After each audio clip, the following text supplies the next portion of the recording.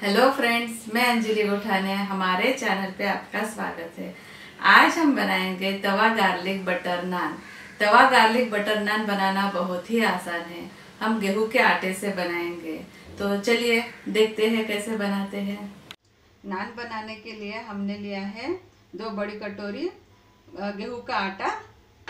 इसमें हम डाल देंगे शक्कर, एक चम्मच, आधा चम्मच हम नमक डाल देंगे और दो चम्मच हमने दही लिया है और दही डाल देंगे। इसको मिक्स कर देंगे। गेहूँ का आटा लिया है ताकि हमारे बच्चे, हमारे पेरेंट्स सब खा सके।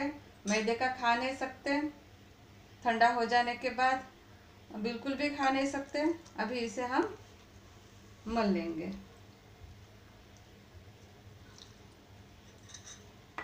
इसे हमने अच्छे से गूथ लिया है। थोड़ा बटर हम ले लेंगे से लगा देंगे। और 10 मिनट के लिए हम रख देंगे।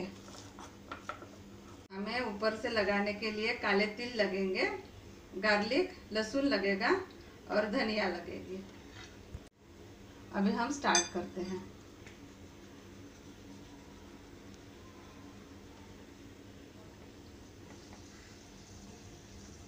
नान बनाना बहुत आसान है। आप इसे ज़रूर बनाना।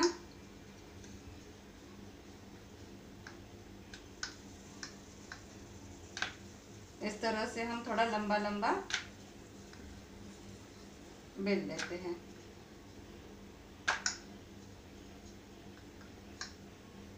हमने गैस चालू करके रखा है। और हमने लोहे का तवा लिया है। इसके ऊपर हम अभी गार्लिक डाल रहे हैं। फिर इस तरह से इसे चिपका देंगे। और थोड़ा धनिया। और ये काले तिल। और इसे थोड़ा बेल देंगे इस तरह से।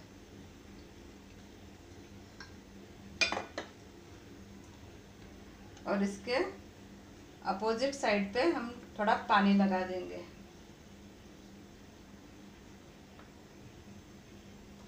और हमारे गैस के ऊपर, हम तवे के ऊपर डाल देंगे।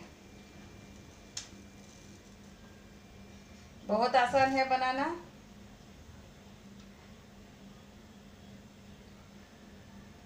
अभी देखो थोड़े थोड़े बबल्स आना शुरू हो गए हैं। ज़रूरी नहीं है हमें इसमें सोडा या कुछ और डालना है। बिल्कुल हमारे दही से ही ये अच्छे से हो जाएगा।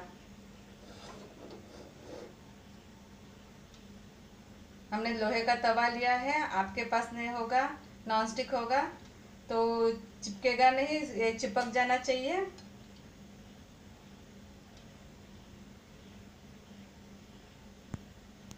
देखो, ऐसा बबल आ जाना चाहिए। अभी हम इसे उल्टा कर देते हैं। इस तरह से। अरे पूरे नान को इस तरह से सेक लेते हैं।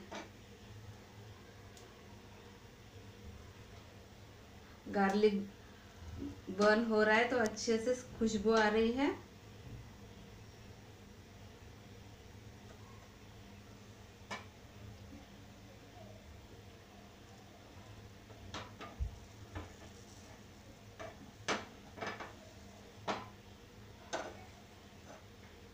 इस तरह से देखिए कितना सुंदर हो गया है।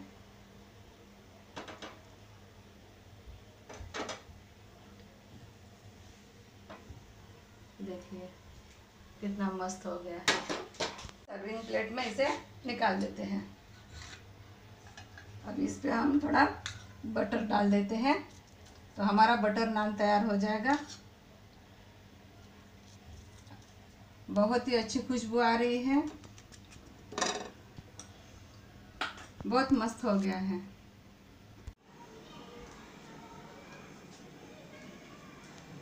तवा बटर, नान बनाना बहुत ही आसान है। आप इसे ज़रूर बनाइए।